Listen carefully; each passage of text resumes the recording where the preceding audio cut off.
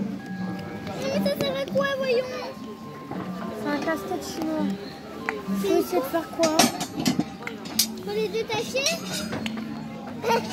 Ah c'est trop dur en fait C'est un casse-tête.